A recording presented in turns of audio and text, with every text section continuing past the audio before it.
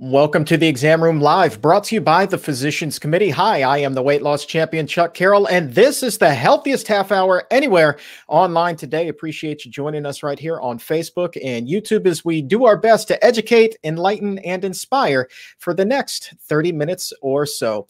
On tap today, it is the eve of the International Conference of on Nutrition and Medicine, ICNM 2020, and we are going to be joined by one of the featured speakers and you, yes, you watching this right now, get to steer the ship because today is Gut Health Q and A day, and for that we are opening up the doctor's mailbag with the one and only Dr. Alan Desmond. Dr. Desmond, this is going to be fantastic. So I'm very much looking forward to having you tackle a whole bunch of your questions today. And you, who is watching this, if you have any question about biome, gut health, go in the comments right now tweet them to us using the hashtag exam room podcast. Uh, also today, also today, before we up, I want to remind you that ICNM is in fact tomorrow you can subscribe to it right now. Register with a 20% discount using the promo code examroom20 over at pcrm.org slash ICNM. And we will get you set up with a 20% discount just exclusive for Exam Room Live viewers. Also on the show today, we will be wrapping up with a check on health headlines and an interesting new study about blueberries and muscle health. And some new reports show that it actually pays. Yes, maybe even saves to be vegan right now. We'll clue you in toward the end of the show. Really amazing comparison of the cost of fruits and vegetables to meats and dairy as the pandemic continues. So we'll be doing that toward the end of the show. But start things off today with Dr. Neal Barnard here on the Exam Room Live. Looking ahead to the fall, Dr. Barnard and the coronavirus, people are wondering what's going to happen when flu season hits. Is it going to get worse? So, what do we know? What is the latest there, sir? Yeah, uh, great question, Chuck. And I have to say, everyone is, is really thinking about this. Um, let me maybe just go back to where we were and see how the predictions have changed. Uh, remember, remember when we got started talking about all of this in the springtime? It was the very end of December, it came into China, then it started spreading over to Europe, ended up in the US. And right around the middle of April, everything was, was heating up. We were having uh, just a huge death rate. However, the prediction at that time was it would settle down. You remember the idea of being back in the malls by Easter? And by summertime, with the warm weather, this was all supposed to be finished. Uh, here are the latest uh, statistics as of today from the University of Washington. And what this is, is the death rate. The reason we're looking at death at deaths is people will say, well, could changes in how often we are testing, could that change the figures? Well, if you're dead or alive from COVID-19, it's pretty hard to argue with those numbers. So it, it, indeed, it was a terrible peak back in the middle of April. But what happened? It did scale down, but it didn't did not scale down to zero. And then right around the 1st of July, everything started going in the wrong direction. It started going up and up and up. And now I've got to tell you, that according to the University of Washington and all the evidence we have, we are going to hover right around a thousand deaths per day, every day. Now, the prediction can be changed. If you look out on the right of this graph, that line in the middle is what we think is actually going to happen. And it'll tail down a little bit, um, you know, may, maybe down 800, 700 uh, deaths a day, uh, if we're lucky. The green line at the bottom, that's the optimistic scenario. That's if everybody continues doing what they were supposed to have been doing, wearing a mask, staying inside, no reopenings. That's the most optimistic scenario. Even that doesn't get anywhere near zero. The worst case scenario is the one that you see at the top. That's the little dotted line uh, in, in red. And that's if everybody gets impatient and eager and uh, things start reopening faster than they can and people aren't wearing a mask. Um, so again, where we think it's going to be is, is right in the middle. So probably tail down a little bit, but by no means go away. And where this graph ends is around November 1st. And by November 1st, we expect to have uh, a death count of 230,000. That's just a couple months away, right? Okay, so what's going to change all this? How are we going to be able to to change the scenario. As, as you can see, there, to answer your question, Chuck, is Nothing is going to change uh, as the flu season comes in. On top of COVID, we'll have flu. Um, the government has launched what it's calling Operation Warp Speed. The idea is to get a vaccine. But instead of the old fashioned way of slowly testing a vaccine and releasing it to the public, the idea is to do it as fast as possible. So the government launched tests on 125 possible vaccines. They've shrunk that list down dramatically. We've now got five uh, that, that are looking, they're good, they're good, at least in theory. Uh, one is made, made, made by Moderna, one by BioNTech, one by Merck, one by Johnson & Johnson, and the fifth one by AstraZeneca. They all have something, they're all different techniques, but they all have something in common. You see those yellow spikes on the coronavirus particle? That's what they are attacking. They want you, your body to be able to make antibodies to recognize those spikes and knock out the virus. Um, however, several things have to happen. First is it's got to work. So with the vaccines, we are seeing that they do seem to stimulate an immune response, meaning that in a person who has been exposed to the vaccine, we've got an immune response. Our body is making antibodies that look like they're hitting the virus.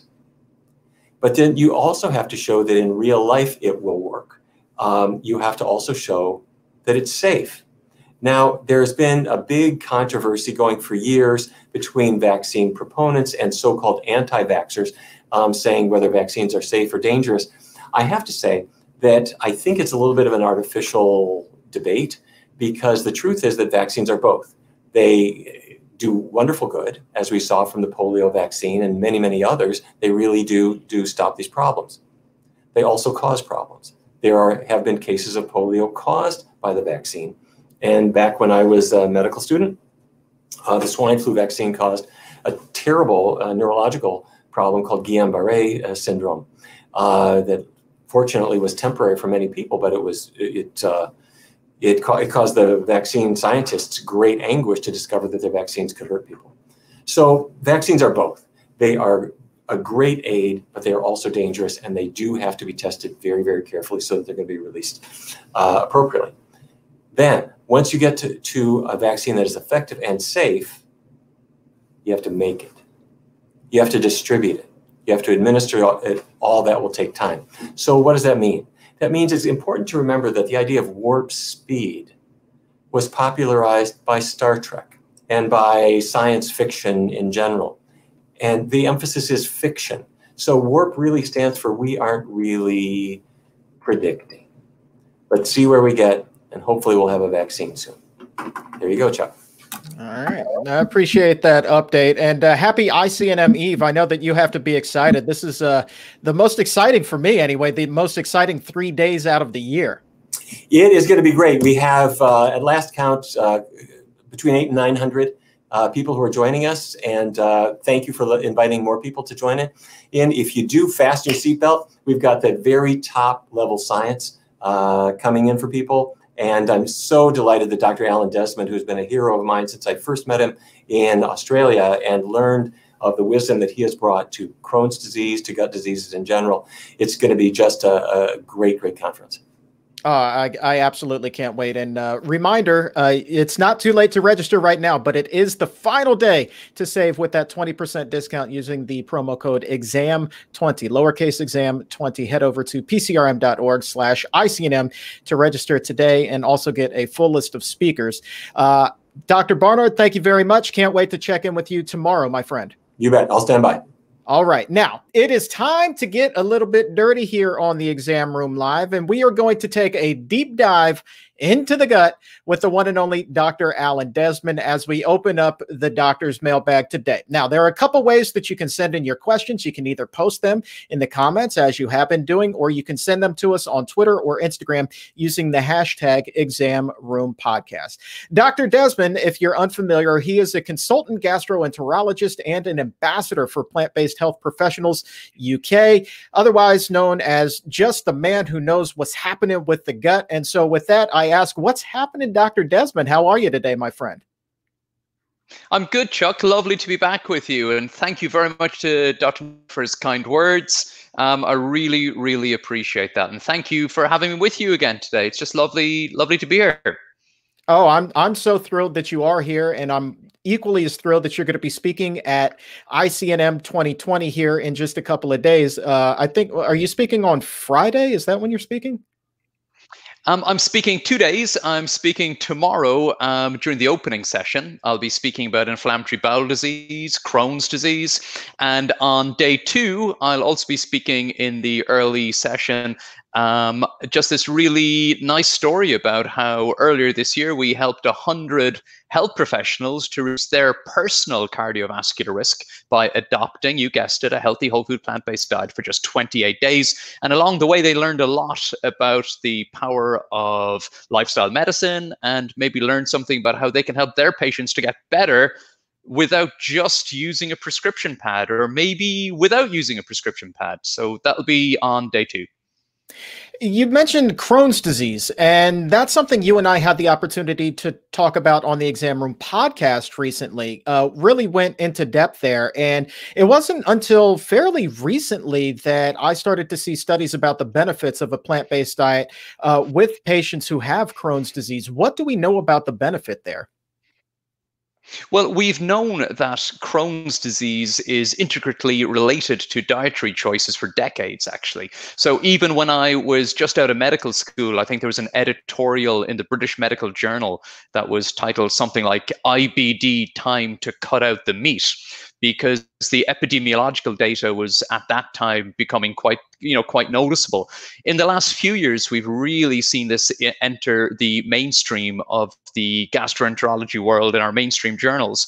But we as um, as we've westernized or americanized or industrialized our food systems in the latter half of the 20th century and moved to a high meat, high fat, high dairy, high processed food, high junk food diet, low plant diet, we've seen conditions like Crohn's disease and ulcerative colitis really emerging and becoming really very common uh, just right alongside things like heart disease and type 2 diabetes and obesity. And in many cases, Chuck, you won't be surprised to learn that the same foods that are driving those other chronic inflammatory conditions also have a lot to do with chronic inflammatory bowel conditions like Crohn's disease and ulcerative colitis. I remember you were talking about that uh, with me on the podcast and, and just being kind of blown away there. And then you were also talking about a specific uh, case study, I think that you did with Dr. Hana Kahleova uh, regarding, uh, was it a med student who had Crohn's disease and, and changed his diet and saw remarkable improvement? Yeah, that's right. And I'll be presenting um, some other similar cases during the uh, conference. But this a year ago since I published this paper with Dr. Barnard and Hana Kahleova. And although we just had we had just one patient story in there, and obviously the evidence goes far beyond individuals, but people people need to hear individual stories so they can make it relatable. And this was a medical student who'd been diagnosed with Crohn's disease, and he was on the usual medication and he was doing relatively okay, but he entered remission, clinical remission, for the first time when he was advised by a friend that he should explore this whole concept of a whole food plant based diet. And I think he initially did it for about six weeks and noticed a substantial improvement and ultimately entered clinical remission. And with the approval of his gastroenterologist, was able to reduce his use of medication. And that was an opportunity for me and Dr. Barnard and Dr. Kahleova not only to share that individual's story, but also to publish a nice review of the existing evidence um, around the effect that these highly processed foods and animal based foods and high fat foods have on the human gastrointestinal tract. I mean, in, in that presentation, as as tomorrow in my presentation at the conference, we'll be focusing right in on Crohn's disease, but really it's a broader message about good gut health, Chuck. Yeah, that good gut health. And there is no shortage of questions right now just about that. So let's open up that doctor's mailbag and show that, yes, indeed, a healthy gut is a happy gut. So our first question comes to us from Lynn at 1209. She writes, I love kimchi. The one I buy states the serving is only two tablespoons. Is that enough to help with my microbiome? Well, there's um, uh, is it enough to help with your gut microbiome? So when we look at studies of the effects of food, fermented foods, and, shall we say, probiotic supplements on the human gut microbiome. When you look at the studies of the effects of a healthy whole food plant based diet, so the sort of foods that you might enjoy on the PCRM Kickstart program or on any healthy whole food plant based uh, program, what we see is that within days, the human gut microbiome starts adapting and changing with this new, healthier approach to food and absolutely loves that diversity of plants and that diversity of fiber. We can measure the benefits. We can see fecal markers of inflammation going down. We see fecal markers of health, like your um, content of uh, short chain fatty acids going up. We even see harmful substances like TMA, which leads to TMAO, dropping off. And those are very dramatic when you make the change to a healthy whole food plant based diet. Very, very dramatic indeed. When you look at the studies trying to demonstrate the benefit of taking a fermented food or a probiotic supplement, when you look at those studies, the changes, Chuck, that the researchers are able to demonstrate are, to be quite honest, pretty minor. So when I am advising people to make healthy changes in their dietary approach, eh, I'm all about the diversity of plants. I'm all about beans, greens, uh, whole grains, nuts and seeds and fruits and vegetables. I would view these uh, fermented foods, even like kimchi. I mean, I like kimchi, but I like it for its complex flavors and what it brings my plate. Um, I don't depend upon things like kimchi, sauerkraut, etc., uh, to bring me improvements in my gut microbiome. I depend on my fruits, vegetables, and whole grains to do that. So the other issue is, of course, the ferments like uh, kimchi are really quite high in salt. So if you're going to eat a whole lot of them, you're going to be really ramping up your intake of salt, which can have adverse effects on your blood pressure, for example, but can also has been linked to causing uh, gastric cancer uh, particularly if you already have an infection in your tummy, uh, which is called H. pylori, which is relatively common in certain certain ethnicities. So enjoy those two tablespoons of kimchi. Enjoy those lovely complex flavors. But if you're looking to improve the diversity of your human gut microbiome with food, then it's all about the diversity of plants in your diet, not how much fermented foods you're eating. There's a few other things you can do beyond food to increase your gut microbial diversity, though, Chuck, and we can talk about those too if you'd like. Uh, absolutely. Uh, but first, let's piggyback on that question. Uh, this one is from Jay Anderson, also at 1209. Wants to know how do you feel about taking probiotics if we're eating a plant exclusive diet? Is it even necessary or beneficial? Well, the way that question has been framed makes me think that I'm on the same page as the person who just questioned. I don't see them as being healthy, beneficial, or necessary if you're eating a healthy whole food plant based diet. There are a few very specific clinical scenarios within my practice where I will prescribe very specific probiotics for a short period of time. Um, but really, those are, you know, maybe several times per year rather than every single day. But every single day, I'm asking my patients how much fruit and vegetables and whole grains they consume and looking for ways to increase. Again, the studies on taking probiotic supplements don't convince me at all that they are necessary for human health. Um, like a lot of things, Chuck, there's a lot of money here. The probiotic industry is worth billions. Um, taking a probiotic each day is also kind of got that nice, simple reassurance. I'll just take this pill or the potion or this capsule and that will fix everything. But genuinely, I, when people ask me about probiotics, I say keep that money and take it to the produce section and get yourself some, uh, you know, some lovely fresh produce instead. It'll have a more measurable and more beneficial effect on your gut microbiome, and you'll enjoy it more. Interesting question here from 1211. Does eating spicy food have any negative effects on the microbiome?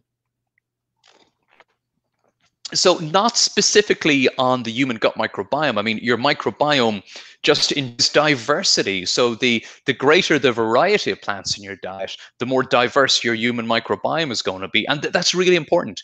The human gut microbiome these bacteria and viruses and archaea and yeasts that live within our arch bowel have been described by researchers as a control center for human biology. Think about that a control center for human biology can influence that, that control center, we can dial it up and dial it down every day just by choosing to eat a healthy variety of plants. If you're putting spices, like should we say turmeric or or anything else in there, you're just increasing the diversity. So I know that for some people, if they've too much spicy food, maybe the heat and the irritant properties um, may cause them some indigestion or gas. That's a whole other issue. But in terms of your human gut microbiome, I don't think if you're consuming uh, spices in normal dietary concentrations, you're going to run into any trouble.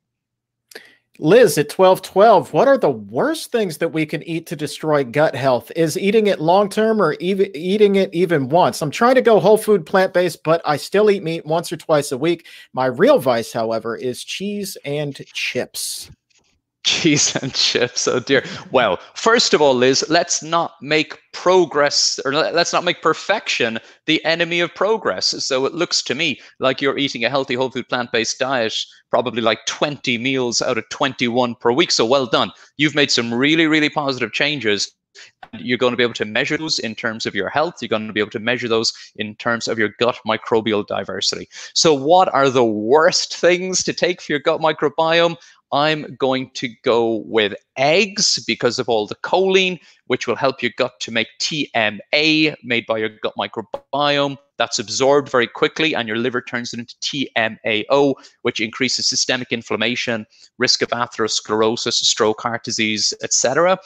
So I'm going to say eggs and I'm going to say red meat. Why am I saying red meat? Because red meat is the type of meat that is particularly rich in pro-oxidative and pro-inflammatory heme iron, which increases your risk of colorectal cancer, and also particularly rich in those polycyclic aromatic hydrocarbons, heterocyclic amines, and advanced glycation end products. All these pro-inflammatory, pro-oxidative carcinogenic substances that often um, uh, impose their effect on our health, their negative effects on our health, by influencing our human gut microbiome. So I'm going to say red meat and eggs would be definitely the things to keep out of your. I don't want to use the word cheat meal. Maybe you use that word, but if you're indulging once a week in in, in some junk food, even animal-based junk food, those are the things I would avoid for sure.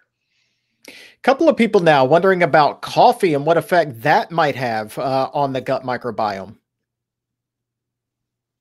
You mean this stuff, Chuck? That stuff right there, my friend. Yeah. What effect is that having on your gut as we speak?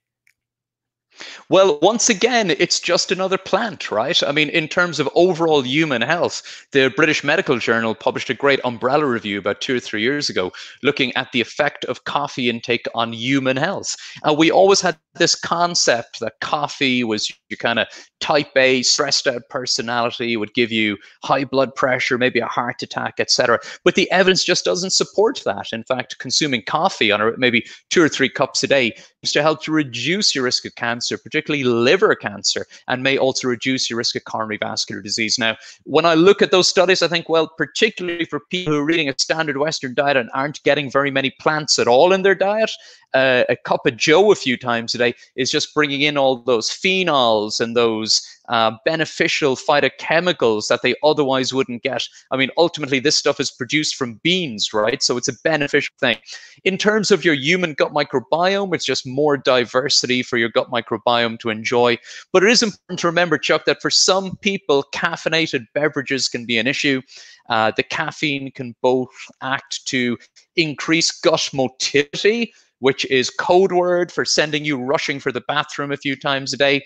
Also, some people may be particularly uh, susceptible to the anxiety type side effects of caffeine, and feeling anxious can also exert negative effects on your bowel habit and generate symptoms like irritable bowel syndrome. So, if you're someone who's particularly sensitive to the caffeine effects, then maybe go for decaf or have a nice cup of tea or a, an herbal tea or something. So, it's not necessary, but if you do enjoy coffee, and I do enjoy coffee, um, it's not going to have negative effects within reason.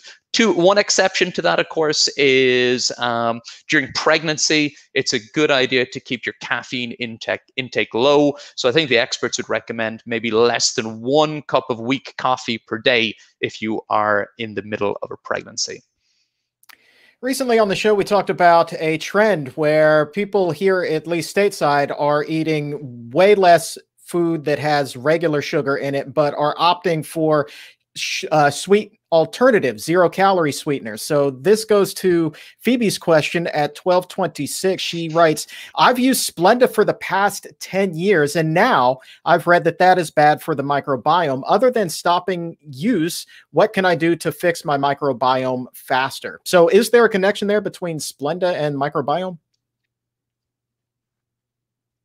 Well, these artificial, so for 50 years now, Chuck, the food industry has been using artificially produced chemicals, things like maltodextrin, um, isosor, excuse me, um, polysorbate, uh, 90 carboxymethyl cellulose, carrageenan, and all these artificial sweeteners, these artificial chemicals, food, which is junk, taste a little bit better, a bit sweeter like fruit perhaps, or give it an improved mouthfeel. And these artificial chemicals have no business whatsoever in the human gastrointestinal tract. They can induce negative effects on our gut microbiome. They can also act to degrade our gut lining's natural defenses and have direct effects where they reduce the integrity of this important layer of mucus that covers the intestinal lining and prevents bacteria and bacterial end products from adhering directly onto the lining, which is something you don't want to be happening on a regular basis. So you've given up this artificial sweetener. Excellent. I'm delighted to hear that. What else can you do? Well, whole food plant based, a great variety is a great thing to improve your gut microbial diversity and to reduce the pro inflammatory and harmful bacteria within your gut microbiome. But what else can you do besides food? couple of things. Sleep is important. Getting your eight hours each night, really helpful. Uh, there are some researchers who believe that the human microbiome helps to set our daily rhythm, our diurnal rhythm. The bugs in our microbiome act, they function on the same diurnal rhythm as we do. So get your eight hours sleep. It seems to help gut microbial diversity. Physical exercise is important. So getting exercise on a daily basis is important nice study a few years ago from the university I qualified from, University College Cork back in Ireland, where they showed that athletes, they were professional rugby players, had an increased amount of the friendly fiber loving bacteria in the gut that ferment fiber and plants and produce beneficial compounds like short chain fatty acids, regular exercise. And further research showed that e- and we don't have to be an elite athlete to get those benefits. Our gut microbiomes will benefit from regular exercise. Spending time in natural environments, our gut microbiome ultimately, Chuck, comes from our environment, from our surroundings. That we pick up these bugs from the environment that we spend time in. And by getting out in woodlands or gardens or forests or natural environments, you're getting well back to nature and you can improve your gut micro, microbial diversity by spending time in nature. And the final thing I would say to improve your gut microbial diversity and to protect your gut microbiome. You've already removed this Splenda, this artificial product. You can also help your gut microbiome by just avoiding unnecessary medications, particularly unnecessary antibiotics. Now, antibiotics are wonderful. They have added years to our life expectancy. Without antibiotics, simple things like a dental infection or a chest infection would be almost universally fatal. But there are so many infections and problems that people will sometimes take an antibiotic, you know, just in case, just in case it gets worse. Or even when their doctor tells them, look, you don't need an antibiotic. If you don't need it, if your doctor thinks you don't need it, then don't take it. Take it if you need it. If you don't need it, don't take it unnecessary medications, including antibiotics, can have a pretty significant negative effect on the human gut microbiome. So, those are maybe four or five other things you can do besides your food to improve your gut microbial diversity. All right, we spoke about kimchi. Let's talk about another popular K food, or in this case, a drink. Susan Song at 1231 wants to know Are you a fan of kombucha? Again, I like the taste. It's yummy. It's unusual. It can be quite sweet. It's got that little vinegary um, taste in it. Um, but I'm sorry to say, the studies on the effect of kombucha on the human gut microbiome and the studies on the effects of kombucha on human health, I'm sorry, Chuck, they just don't convince me. So they're another interesting part of a varied uh, whole food plant based diet They're tasty. If you're out with friends, and if like me, you don't drink any alcohol, maybe having a little kombucha is it make it marks the occasion. Um, so a nice social thing to do. But in terms of improving your health, I'm sorry, all you kombucha fans, um, I I don't see the overall health benefit. Uh, Amelia, Amelia at twelve. Yeah, you're breaking hearts today, man. Um, Amelia at twelve thirty. I know. I, I, was going to hold back there, Chuck, but look, I'm going to go with the science. Yeah. you got it. Shoot straight. You you have to shoot straight. Uh, Amelia at twelve thirty one. I really try to eat a whole food plant based diet, but I'm very sensitive to a lot of veggies. Also, not able to do a lot of raw fruits and vegetables. Might have SIBO from my symptoms I don't like meat, but have so little choices of food. Do you have any recommendations of how I might make that transition? Complicated question. Sure.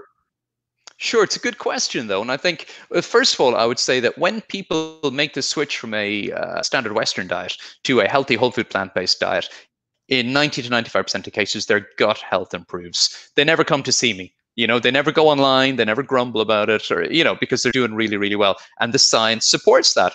But for some people, eating a healthier diet, particularly um, if they've grown up on a standard Western diet, and we know even the kind of healthy version of a standard Western diet may still only include, you know, 28 to 30 grams of fiber per day. When you make the switch to a healthy whole food plant based diet, you may be consuming up to 45 grams of fiber per day. And with more fiber, comes more fermentation. It's a good thing, it's a healthy thing. With more fermentation comes more gas and more fluid and more liquid. And that can cause problems. That can cause digestive symptoms and discomfort, etc. What I would suggest to um, your listener or the person watching is that they might just have a little online search about FODMAPs. FODMAPs are these fermentable carbohydrates. They're called fermentable oligosaccharides, disaccharides, monosaccharides, and polyols. They're in healthy foods as they should be.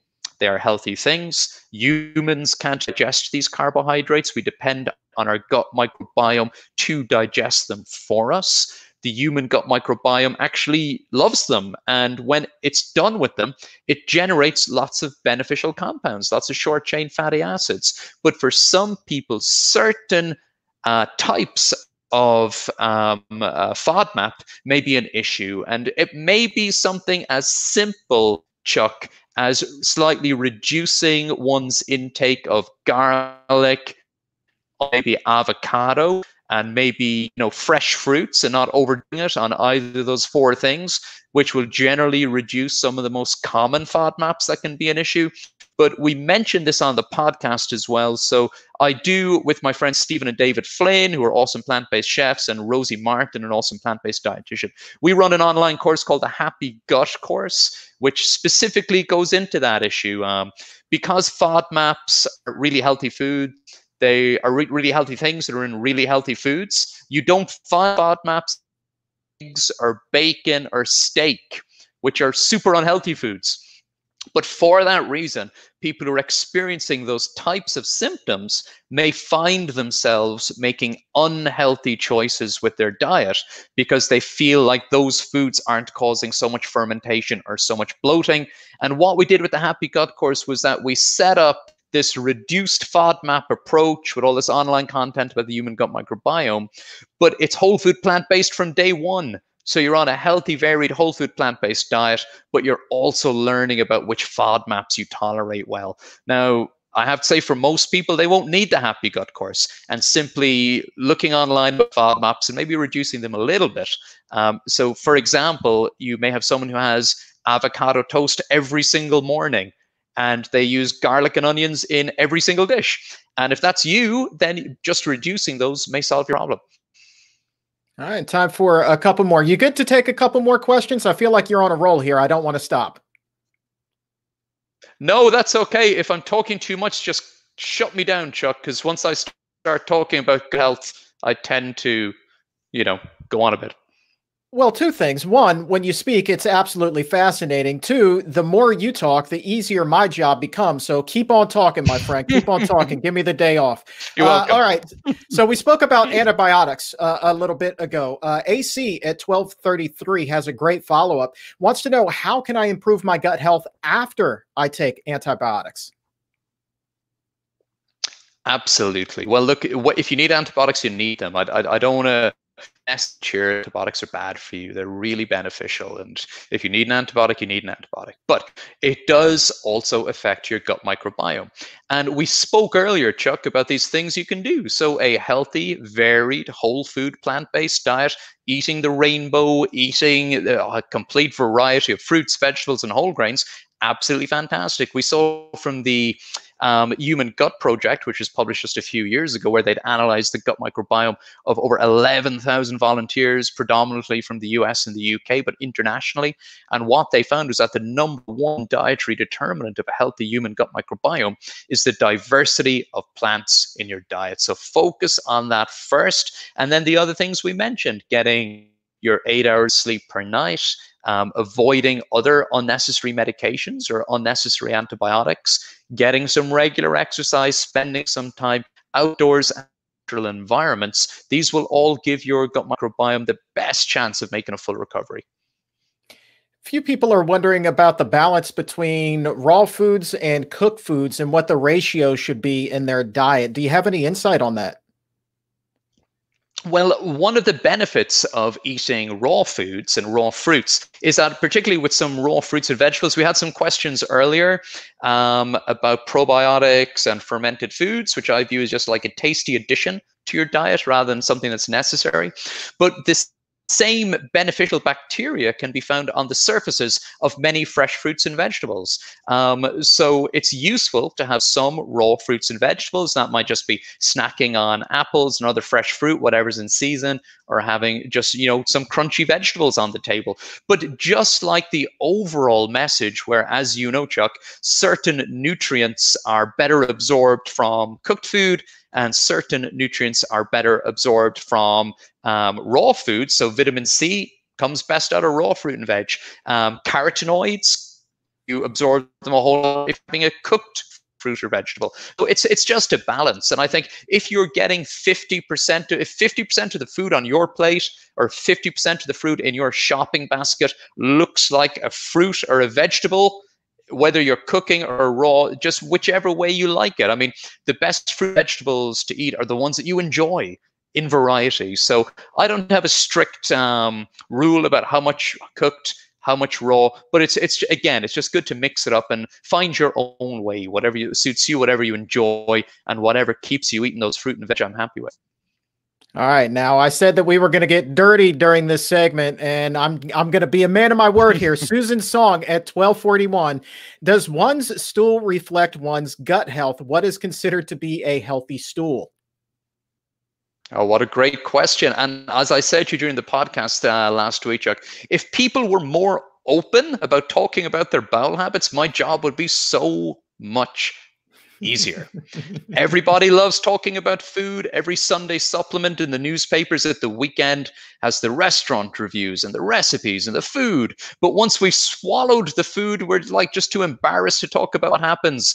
Everybody eats, everybody ferments, everybody poops. It's just a fact of life. So we should be we should be comfortable talking about these things. So a really interesting um, little anecdote about this. So about 12 or 14 years ago, at Bristol Royal Infirmary Hospital, which isn't too far from where I work and live here in the southwest of England, they designed something called the Bristol Stool Chart. And if any of your guests want to really get into this, any of your listeners, just Google it up, the Bristol stool chart, and that shows a full color picture of everything from terribly hard, constipated stool to a kind of a watery, mushy, unpleasant thing.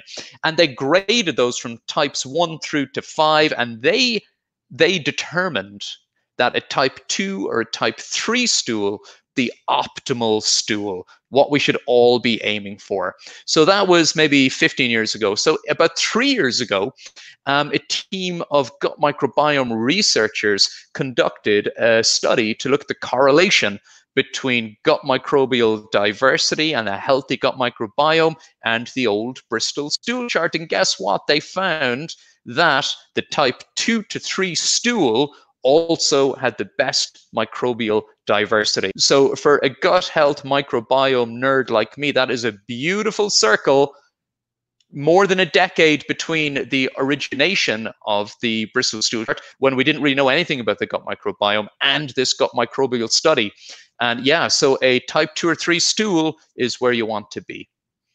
All right. And final question comes to us from Richard at 1236 wants to know what do you eat for breakfast on a typical day?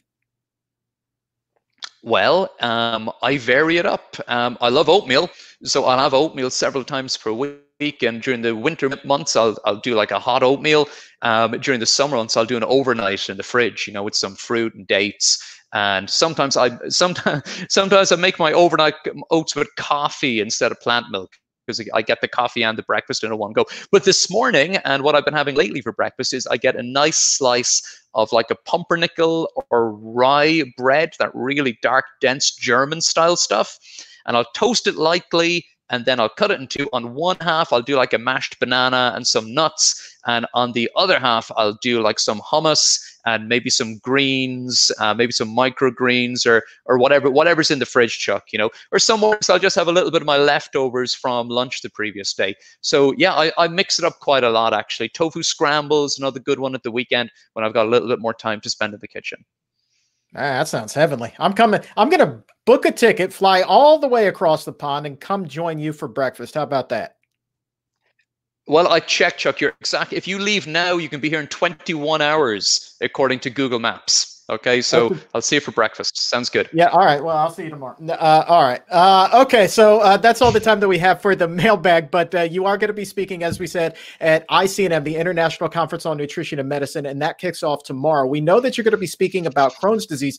You also mentioned that you're going to be speaking about a study that tracked 100 health professionals and how they were able to reduce their cardiovascular risk over the course of 28 days. Without giving too much away, can you tell us a little bit about what it is you're going to be talking about there and, and, and how this happened? So this was a project that I designed with my friends Stephen and David Flynn of the Happy Pear and some local GPs in my area. So I talk a lot at local medical conferences and meetings with the benefits plant-based diet. I had the opportunity just before Christmas to speak at two huge conferences, mainstream medical conferences, and I did like a good hour, Chuck, on the benefits of a plant based diet. I was speaking to GPs, family physicians, nurses, physiotherapists, dietitians. They were all omnivores, Chuck many of them had never heard of Dr. Barnard, if you can believe it.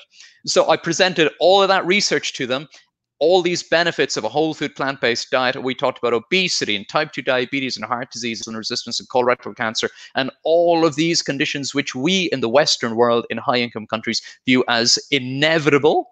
And I said, look, a whole food plant based diet can prevent, halt, and even sometimes reverse these conditions. So I challenged them to take on a whole food plant based diet with no calorie counting and no portion control, no measuring, just cooking and eating for 28 days. And I got them to track their body weight and their cholesterol and their blood pressure.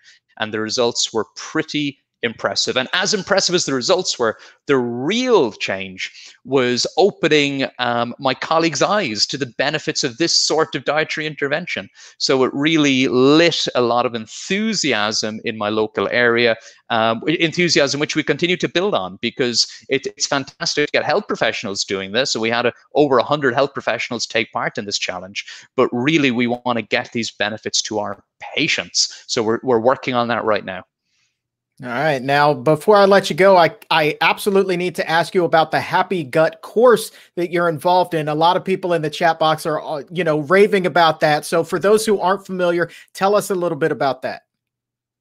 So, if you are someone who is eating a standard Western diet and you've been diagnosed with uh, irritable bowel syndrome or digestive health issues similar to that, if your doctor has told you that, and if your doctor or your gastroenterologist has said to you, ooh, you should try maybe this low FODMAP diet thing, you'll be disappointed to find when you look online that often a low FODMAP diet is an unhealthy diet, which depends on meat, eggs, and dairy for calories. So with the Happy Gut course, what we've done is we've taken the two things that can be really, really beneficial for irritable bowel syndrome. We've taken a high fiber, varied, whole food, plant based diet, and we've combined that science with the science of FODMAP elimination and then stepwise introduction. So we have a six week plan, we have recipes, we have gradual reintroductions, we have food diaries, and the recipes are awesome. They're done by my friends Stephen and David Flynn, who really know their way around a plant based kitchen. And we also have, uh, so I'm in there supporting the group. We have Rosie Martin, my friend and colleague, who is an awesome plant based uh, uh, plant based dietitian. And the re- although we put so much work, Chuck, into the recipes and the online content and the videos and the educational content, the real power of the Happy Gut course has been our incredible online community. So we have four and a half thousand people in that online community now who are all trying to or aiming to improve their digestive health while eating more plants. So thanks for asking about the Happy Gut course. It's been a real pleasure for me to be involved in it. Um, so every day we, we, I'm getting these awesome messages from people taking part taking part in the Happy Gut course, and we've had some tremendous success with it. All right. And you are also a mandatory follow on Instagram, a great account at dr.alan You need to go give the man a follow. He is a social media star and he absolutely, as he just showed, knows what it is that he's talking about. So, Dr. Desmond, thanks so much for taking the time today. Can't wait to see what you have in store for us at ICNM. Oh, Chuck, great. Talk to you soon, buddy. I appreciate it. All right, my friend, you take care. And you remember that today is the final day to take advantage of the 20% discount exclusively for exam room viewers. All you need to do to register to see Dr. Desmond's presentations and Dr. Barnard and everyone else, head over to pcrm.org slash ICNM, click that registration link and use the promo code EXAM20, lowercase though, exam and then the number 20 to save 20% off the cost of registration three days to nurse nerd out about nutrition like you never have before. I promise you, it is going to be amazing. All right, now, time to get caught up on what is happening with the world. Here are your health headlines for Wednesday, August 5th, 2020. We start with the latest on the coronavirus here in the U.S. Dr. Barnard was talking a little bit about this earlier. Uh, 53,000 new cases were reported on Tuesday. Now, that is up from Monday, but still, we are on a downward trajectory compared to previous weeks and below the 58,000 cases that have been averaged over the last seven days. Meanwhile, the number of deaths, though, saw its biggest single day jump in weeks with more than 1,300 lives lost. The country has been averaging more than 1,000 deaths a day for the past 10 days. Meanwhile, the resurgence in cases isn't limited to here in the U.S., as European countries are also in the midst of a rash of new infections. The outbreaks are causing some countries, such as Ireland, to pause plans for reopening. Germany, Spain, France, and Greece are among the other countries grappling with a new surge of infections, while cases in the Netherlands nearly doubled over the past week. Here's some good news, though. Being vegan is proving to be cost effective during the pandemic. While the price of meat and dairy is skyrocketing at the grocery store, produce prices are remaining relatively stable, according to new figures that have been released by the government. Since February, Check this out. Since February, the price of beef and veal have soared by more than 20%. And the cost of eggs, that's up 10%, while people are paying 9% more for chicken and pork. However, for the health conscious shoppers who are they are finding far less sticker shock in the produce section. Increases for vegetables have been limited to 4%, while fresh fruit prices have jumped just 2%. Cool stuff, right? And one of the fruits that you may want to add to your next grocery list is blueberries. A new study finds they can improve muscle regeneration in young women. Cornell researchers asked a small group of women to eat freeze dried blueberries twice a day for six weeks, finding improvements in regeneration. Now, the improvements were not seen in women over the age of 60, but research has previously shown that the little blue, the little blue fruits can be beneficial for heart and brain health, as well as diabetes and the gut microbiome. The study was funded by the Blueberry Council and is published in the Journal of Nutrition. I had blueberries with my oats this morning. I seriously, I love those things, man. Blueberries, frozen blueberries, so versatile, great in smoothies. And then you can put them on top of hot oatmeal and that'll help cool it down faster.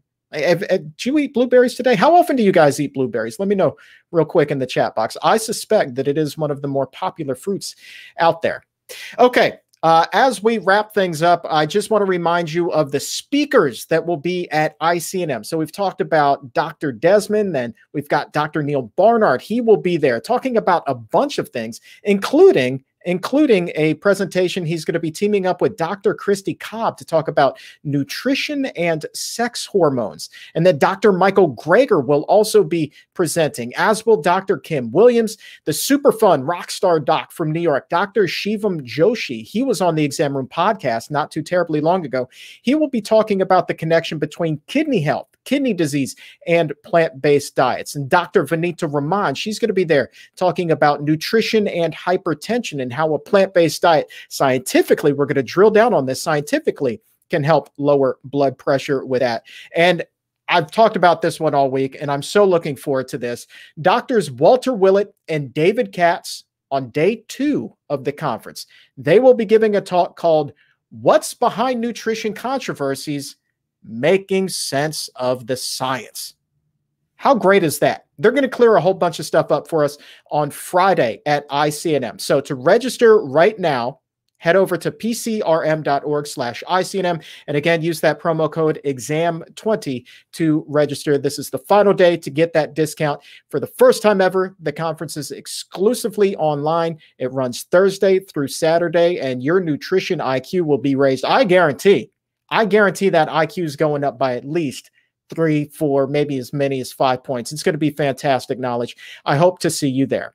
Now, quick show note we will be starting early tomorrow because of ICNM. Showtime normally at noon, but tomorrow we will be starting at 9 a.m. Eastern Time. So have breakfast with us. Dr. Barnard, he's going to be back on the show, as will dietitian Susan Levin. And Dr. Yami, she will be making her exam room live debut. And we're all going to be taking a look at the new dairy dietary guidelines, where things stand with that, what's the latest. Susan has been following that closely. And then we're also going to be looking at dairy and what the guidelines are likely to be saying about dairy. And this comes on the heels of the resurgence of the Got Milk campaign. So we got to clap back with some real facts and not slick marketing. And that's exactly what we're going to be doing on the show tomorrow. Remember, starting at 9 a.m. Eastern, right back here on Facebook and on YouTube. And lastly, and lastly, if you need a little bit of inspiration today, you need a little pick me up, head over to Apple Podcast or Spotify or Stitcher, wherever shows are available, and grab the latest episode of the Exam Room podcast by the Physicians Committee.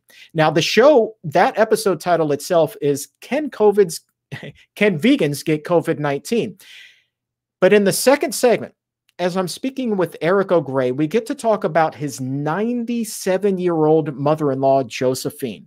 Now, Josephine was in a hard way, had a whole host of medical issues, not walking a whole heck of a lot, was very sedentary, even a little bit cantankerous. You know, she had a bit of a cranky personality, but then she moves in with Eric and his wife, adopts a whole food plant based diet. Within five weeks, Josephine, you see her right there on the screen. Within five weeks, doctors had taken her off of her medication and she was up and she was walking two to three miles every single day.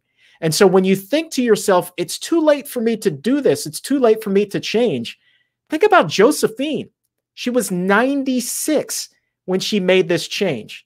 And in just five weeks, how much her health improved. It's a remarkable conversation. So head over to Apple Podcast or Spotify, hit that subscribe button when you find the Exam Room podcast by the Physicians Committee. And if you would be so kind as to also leave a five star rating, we would greatly appreciate it. And I appreciate you being here today. And I also appreciate Dr. Alan Desmond for joining us and to the crew behind the scenes that makes the show possible. Our director is Donna Steele and our producer is Laura Anderson. And on behalf of Dr. Neal Barnard and everyone here at the Physicians Committee, I am the weight loss champion, Chuck Carroll. Thanks so much for tuning in today. And until tomorrow morning, stay safe, take a stand, and keep it plant based.